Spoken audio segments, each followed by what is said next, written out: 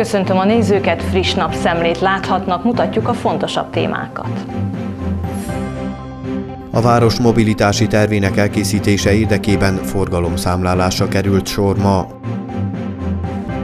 Újrahasznosított hulladékból készültek hangszerek, a legjobbat készítőket jutalmazták. Esztene Fesztivál és Múzeumok éjszakája lesz szombaton, egész napos programmal készül a múzeum.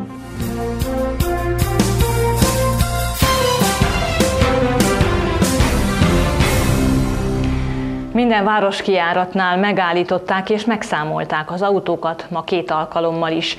A városban a forgalmasabb kereszteződéseknél is számlálták az autókat. A cél, hogy kiderüljön, melyik útszakaszok pontosan mennyire vannak terhelve a forgalom által.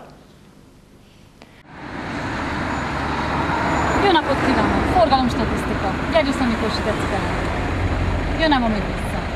Viszontlátásra. Köszönöm, jó utat! Nem okozott számottevő fennakadást a forgalomban a járművek megszámlálása. Reggel a Szárhegy felüli városvégen voltunk kameránkkal, nem tapasztaltunk fennakadást egyik irányban sem. Ha egyszerre több jármű érkezett a számlálókhoz, csupán akkor volt lassú a forgalom. 7 órától 10 óráig, tehát gyakorlatilag a munkahelyre és iskolába tartó csúcsforgalmi időben számoltunk forgalmat. A Szárhegyi úti kiáratnál elmondható az, hogy a városba befele több mint kétszer annyian tartottak, mint a városból kifele, és nagyon sok az átutazó. Mindkét esetben az adatok összesítése majd akkor lesz érdekes, amikor a város többi kiáratával összevetjük azt, hogy milyen adatok születtek itt, és ezek közül hányan maradtak bent a városban, és mekkora az a forgalom, amely csupán átutazott Gyergyószent Miklóson. Ez megtörtént most 7 órától 10 óráig, ezt követően viszont délután ennek a párját tulajdonképpen 2 órától 5 óráig a délutáni csúcsforgalmat is mérni fogjuk, és ezekből az adatokból majd a Csíkszeredai székhelyű kontúr cég lesz az, aki egy komplex adatbázist állít össze, hogy lássa azt, melyek azok a gócpontok, amelyek feloldásra szorulnak, hiszen ezekhez az adatokhoz hozzájárul majd az is, amelyet a város belső részében, az útkereszteződésekben mértek a munkatársak. Itt csupán az autók számát mér mérték, és ebből majd ki fog tűnni az, hogy a város belső részében az a forgalom, amely kívülről befele tart, és ehhez hozzáadva a város belső forgalmát, hol okoz gócokat. A mai számlálás egy átfogó forgalomszervezési stratégia első mozzanata. Ez a mobilitási terv arra hivatott, hogy megoldási javaslatokat nyújtson a történelmi központ tehermentesítése a kerékpáros közlekedés kapcsán. A forgalomszámlálás az csupán egy előtanulmány, a városi mobilitási terv előkészítését célozza, és majd a mobilitási terv lesz az, amely nem csupán egy helyzetfelmérést tartalmaz, hanem javaslatokkal is előáll alternatív útvonalakra, abban a tekintetben, hogy például az iskolák környéki reggeli csúcsforgalmat megpróbálja feloldani, illetve a város egyes részein tapasztalható gócokat, dugókat megpróbálja feloldani. Tehát a mobilitási terv az már nem egy helyzetkép lesz, hanem egy javaslatcsomag. Hasonló terveket országszerte készítenek ebben az időszakban, hiszen szinte mindenhol szükségesé váltak, mert a régi városrészek megépítése és fejlődése idején nem számoltak ekkora potenciális terheléssel a közutakon, járdákon, útkereszteződésekben. A jelenlegi helyzet feltírképezése és szakemberek bevonása segíthet abban, hogy a csúcsidőben tapasztalható torlódások ne súlyosbodjanak, hanem lehetőleg alternatív útvonalak beépítésével gördülékenyebben átjárhatók legyenek. A szolgáltató közlése értelmében június 17-én pénteken 9 és 17 óra között a hálózaton végzett javítások miatt áramszünet várható a Kossuth Lajos utca felső szakaszán, a Szabadságtértől a Városi Könyvtárig terjedő részen, az első és kilencedik oszlopok között. Az áramszünet érinti mind a háztartásokat, mind pedig a kereskedelmi egységeket, földmérőirodát, közjegyzői kabineteket, tömbházakat. Több hónapos késéssel kedden elindították a klasszikus roncsautó programot. Első körben 105 kérést hagytak jóvá, de az autókereskedéseknél már többen vannak várólistán. Az elmúlt tíz évben 300 ezer új gépkocsit vásároltak Romániában a roncsautó program keretében. Tavaly 200 millió lejt szánt a kormány a programra, és 25 ezer értékszelvényt bocsátottak a vásárlók rendelkezésére. Idén a minisztérium célkitűzése 20 ezer környezetszennyező jármű lecserélése. Idén később indult a program, mint előző években, mivel átgondolták azt, még inkább a környezetkímélést helyezve előtérbe, nagyobb hangsúlyt fektetve az elektromos és hibrid autókra. A késés miatt az autókereskedéseknél várólisták alakultak ki, a program nem csak a vásárlóknak, a szalonoknak is előnyös. Jelenleg legalább 60-70 személy van, akik megrendelték az autójukat. Ezek egy része meg is érkezett. Vártuk, hogy elinduljon a program, és holnaptól valószínűleg elkezdjük feltölteni az adatokat a Környezetvédelmi Alap honlapjára. Ezen kívül is sokan vannak az adatbázisunkban, akik az indulásra vártak. Az eladás az első két-három hónapban ilyenkor robbanásszerűen megnő. A programban 8 évesnél régebbi, forgalomba beiratott járművekkel lehet jelentkezni. A vásárlók 6500 lej értékű szelvényeket kaphatnak a régi autójukért cserébe, de emellett két ökobónuszt is kérhetnek. A hónap végéig várhatóan az elektromos és hibrid autókra vonatkozó Roncsautó Plus programot is elindítják. Akik ilyen gépjárművet szeretnének, akár 20 ezer lejes támogatást is kaphatnak. A képviselőház megszavazta a 2010-ben elfogadott nyugdíjtörvény módosítását célzó törvénytervezetet, amely jelentős változásokat eszközöl azon személyek nyugdíjának kiszámításában, akik speciális munkakörülmények között dolgoztak. A nyugdíjazáshoz szükséges szolgálati időtartam a következőképpen változik a jelenlegi szabályozás értelmében. A bányászok esetében a jelenlegi 30 helyett 20 évre csökken a szolgálati idő. Az egyes sugárzónában dolgozóknak, akik uránbányákban, nukleáris erőművekben tevékenykedtek, 22 és 5 hónapról 15 évre csökken, míg a kettes sugárzónában dolgozóknak, akik röntgen sugaraknak vannak kitéve, 25 év és 5 hónapról 17 évre csökkentették a szolgálati időtartamot. A negyedik kategóriába tartoznak azok a személyek, akik különböző művészeti tevékenységeket folytattak, mint például az akrobaták, balettáncosok, opera és operetténekesek. A nyugdíjazáshoz szükséges 30 év szolgálati időből legkevesebb 20 évet kell dolgozzanak művészeti pályájukon. A megyeházán hétfőn délelőtt megtartott sajtótájékoztatón hirdették ki a Hargita megye tanácsa által lebonyolított e- élhető jövő tanórák keretében meghirdetett vetélkedő nyerteseit. Két tanintézmény, egy-egy osztályközössége a Gyergyóremetei Hulladék Gazdálkodási Központba utazhat.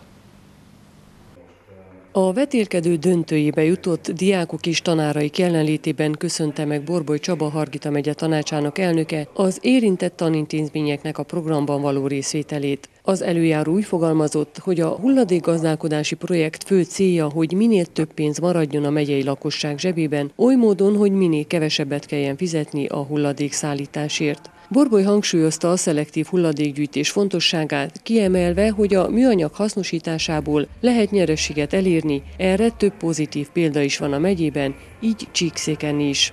Ennek a projektünknek, ha bár kinkeservesen érünk a végére, 8 év kemény, nagyon nehéz, sokszor a mélypontok alá esett fázisából kellett ezt a projektet visszahozni. Mégis itt vagyunk, és én azt gondolom, és azt gondoljuk, hogy akkor volt értelme ennek a sok kínlódásnak, akkor volt értelme ezt a sok pénzt az Uniótól elhozni, hogyha szebbé válik a környezetünk, illetve az emberek zsebébe több pénz fog maradni. És ehhez pedig szükség van egy kicsi gondolkodásváltásra, javítani a szokásainkon, és én, mint apa is tudom jól, hogy ha valamit a lányaim mondanak, vagy valamire ösztönöznek, azt az, azért egy kicsit komolyabban veszem, és nagyobb odafigyelek, jobban odafigyelek, és körültekintőbb vagyok, ezért is többek között gondoltunk arra, egyik fő cél rétegünk a kommunikációs kampányban a fiatalok és a gyerekekkel legyenek.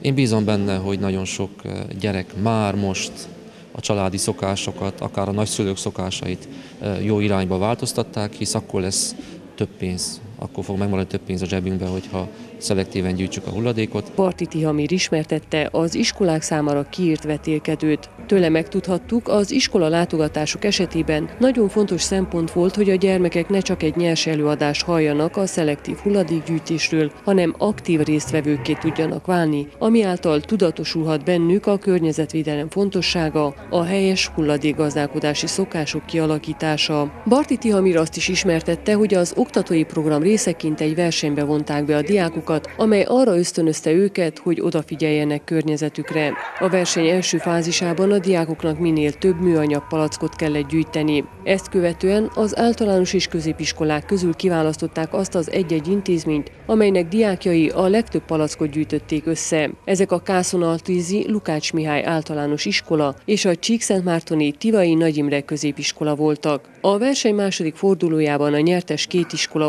osztályai hangszer témájú maketteket készítettek a szelektíven gyűjtött hulladékok felhasználásával, amelyeket a sajtótájékoztató keretében lehetett megtekinteni. A makettekkel kapcsolatos értékelési szempontok az újrahasznosított anyagok használata, az esztétika, a valósághűség és a hangzás voltak. Mint a helyszínen kiderült, a Kászonaltízi Lukács Mihály általános iskola 5, 6 és 7. osztályai készítettek maketteket, az első díjat a hatodikosok és a hetedikesek nyerték meg egy dob, illetve egy csörgő készítésével. A Tivai Nagy Imre középiskolából a 9. AB, a 11. B, illetve a 10. A osztályok vettek részt a végső megmérettetésben. Közülük a legjobbnak a 9. B osztály bizonyult egy nagybőgő hasonlásának az elkészítésével. Bejött az, oszt- az osztályfőnök a egyik szünetben, és akkor mondta nekünk, hogy hogy a kupakárt után milyen lehetőséget kaptunk, és akkor kezdtünk gondolkodni, hogy, hogy mit csináljunk.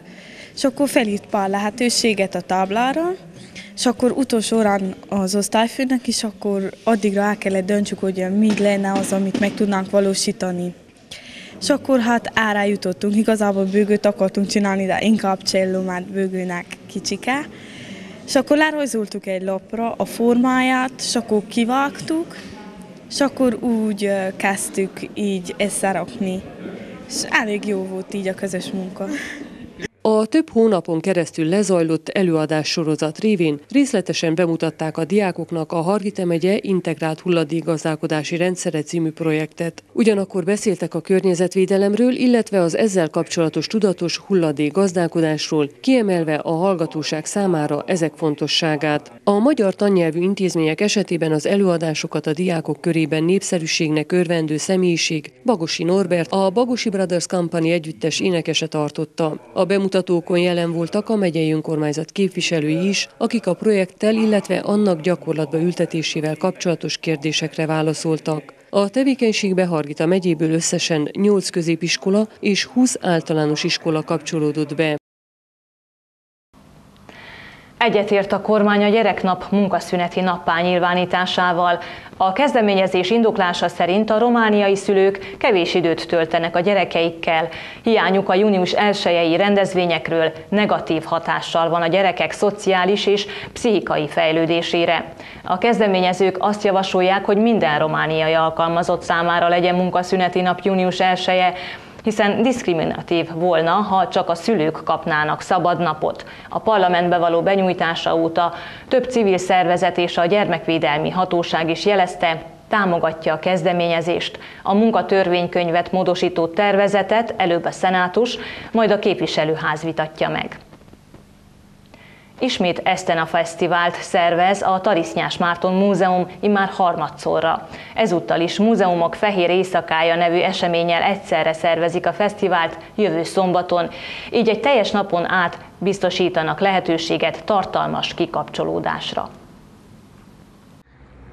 Különleges nap lesz június 25-e a Tarisznyás Márton Múzeumban. Ezten a fesztivált és múzeumok éjszakáját rendeznek. Rengeteg érdekesség várja mindazokat, akik az ünnep alkalmából ellátogatnak az intézménybe. Esztenák főgazdák mutatkoznak be, pásztorvetélkedőt is tartanak, néptánc együttesek lépnek fel és koncertek is lesznek. Új kiállítás nyílik és egész nap ingyenes tálatvezetést biztosít az intézmény. Egészen éjfélben nyúló rendezvények fogják egymást követni.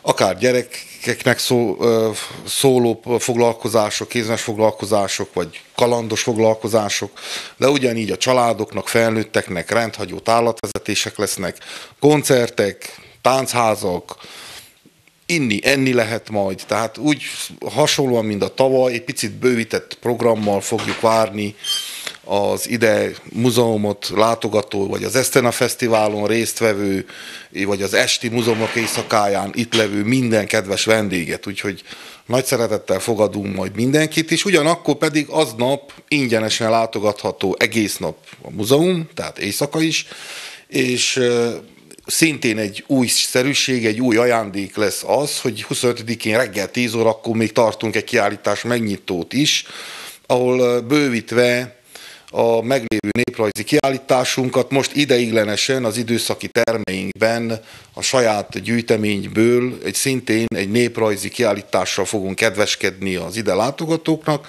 Persze ez a nyári szezonban fönt hagyjuk ezt a kiállítást, hogy az idegen turisták vagy látogatók, akik erre járnak, azért lássák Gyergyónak az értékeit, szépségét, múltját, hagyományait, és ezt fogjuk majd szintén az Esztena Fesztivál nyitányaként megnyitani, éppen azért, hogy egész nap már látogatható legyen ez a kiállítás.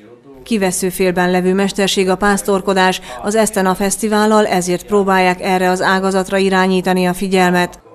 Valamikor Tarisznyás Márton ö, nagy hangsúlyt fektetett a múzeum útjának, stratégiájának a meghatározásában, ami nem volt más, mint az, hogy az erdő néprajzát, ö, ami igazából meghatározza a gyergyóiságot és a gyergyó múltját, az megfelelőképpen legyen bemutatva és értékelve, de hát ugye elteltek az évtizedek, vagy mondhatnám az évszázadok, és oda jutottunk, hogy azért rengeteg olyan hagyományos mesterség és mondjam az közösségi érték van kikopóban, vagy egyáltalán felejt, elfelejtett folyamatban, ami azt jelenti, hogy egyre kevesebb a hagyományos gazdálkodó, egyre kevesebb a, azok a, a mondjam azt közösségek, ahol igazából fontossá válik a jövőre nézve a hagyományos pásztorkodás is. Tehát igazából azt vettük észre, hogy egyre kevesebbek azok a fajta minden évben megrendezendő, főleg a, ugye a főgazdák által képviselt érdekek, amik azt jelenti, hogy egy-egy tízesnek, vagy egy-egy falurésznek, vagy városrésznek összeterelve az állatait közös esztenákat állítanak fel, tehát a tejmérések maradnak lassan el, hiszen a, a, az esztena tartás is lassan ilyen farmer gazdálkodásba megy át, és az a fajta régi pásztorkodó kultúra, ami jellemezte ezt a havasi vidéket, az teljesen kikopóban, elveszőben van.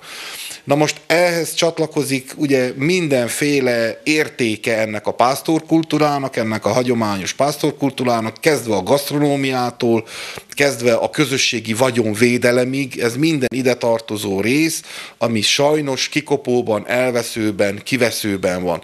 Na most ezt próbáljuk valamilyen szinten megerősíteni, tartani a lelket azokban a gazdákban, akik veszik alapot, pozitívan válaszolnak a múzeum felhívására, és ugye már két alkalommal jelen voltak. Igazából ennek az, Esti, ennek az Esztena Fesztiválnak ők a főszereplői, ezek a gazdák, akik mondhatnám azt, hogy vendégül látják a várost hiszen behozott friss tejet főznek, tehát igazából elkészítik a tej, hagyományos tejtermékeket, annak mindenféle procedúráját az ide látogató láthatja, állatot vágnak, amit elkészítnek, nagyon finom, akár a rétes puliszkától, vagy az ordás puliszkától kezdve az üvegspörköltig mindenki talál magának finomságot, és ugyanakkor pedig megerősíthetőek azok a kapcsolatok, amelyek nem csak egy szombati piacnapon keresztül tartandók, hanem egy kicsit többről most szó, tehát nagyobb értéket kap, nagyobb kulturális értéket kap az a pásztorkodó család, vagy az, aki még hagyományt követve végzi ezt a fajta megélhetési lehetőséget. Úgyhogy ez az öt, mondhatnám azt, hogy ezt a öt-hat családot próbáljuk a lelket továbbra is tartani, Sőt, az idén reméljük, hogy most már a falvak is beszállnak, és ha nem is a legtöbb gyergyói falu, de most legalább még egy-két falut sikerül fölkérni azt, hogy megjelenjen és részese legyen ennek az idei, a harmadik gyergyói Esztena Fesztiválnak. A részletes program hamarosan elérhető lesz a múzeum honlapján, illetve plakátokon is meghirdetik majd. A rendezvényre ingyenes a belépés. Az egészségügyi minisztérium tegnap jelentette be, hogy a fertőtlenítőszereket gyártó és forgalmazó cégeket arra kötelezik, hogy akreditált laboratóriumokban ellenőriztessék újra a saját termékeiket. A rendelet értelmében az érintett gyártóknak, forgalmazóknak 120 nap áll rendelkezésére a vizsgálatok elvégzésére. A 2010-es 10-es számú miniszteri rendelet módosításának életbe lépésétől, azaz június 23-ától számolva. Az egészségügyi minisztérium közleményében kiemeli, ki fogják vonni a forgalomból azokat a termékeket, amelyeket a jelzett határidőn belül nem ellenőriznek egy akreditált laboratóriumban. Csokoládé és sör és csípős paprika lekvár, többek közt ilyen ingyenségeket is, érdekességeket állítottak ki a Kolozsvári Agrár és Állatorvos Tudományi Egyetem élelmiszertechnikai szakos diákjai az Élelmiszer Fesztiválon. Szokatlannak tűnő hozzávalókat párosítva állították elő ezeket a különleges falatokat az élelmiszer szakos diákok.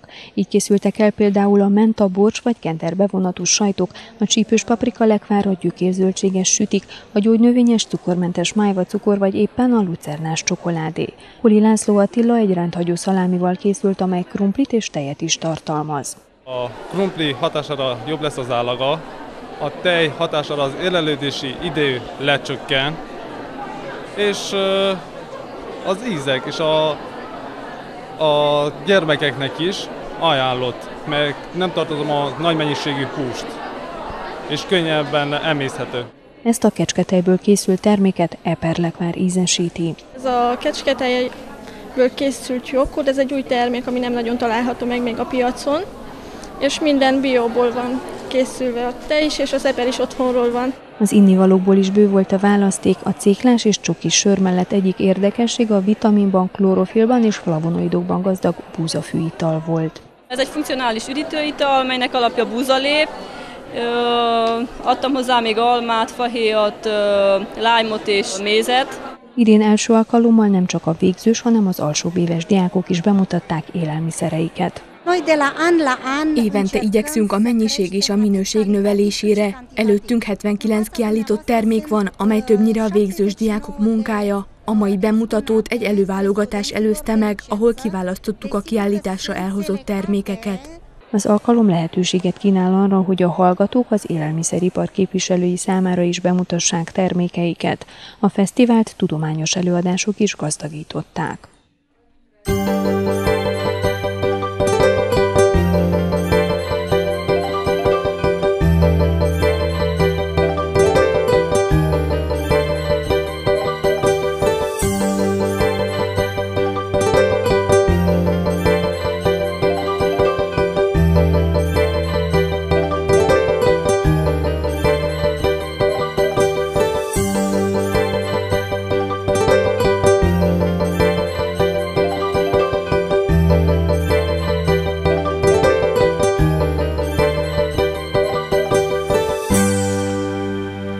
Mutatjuk röviden még egyszer a fontosabb mai témákat. A város mobilitási tervének elkészítése érdekében forgalomszámlálásra került sor ma. Újrahasznosított hulladékból készültek hangszerek, a legjobbat készítőket jutalmazták. Esztene Fesztivál és Múzeumok éjszakája lesz szombaton, egész napos programmal készül a múzeum. Eddig a napszemle, reklám után a Hargita magazinnal folytatjuk. Köszönöm, hogy követtek minket, tegyék ezt holnap is. Viszontlátásra!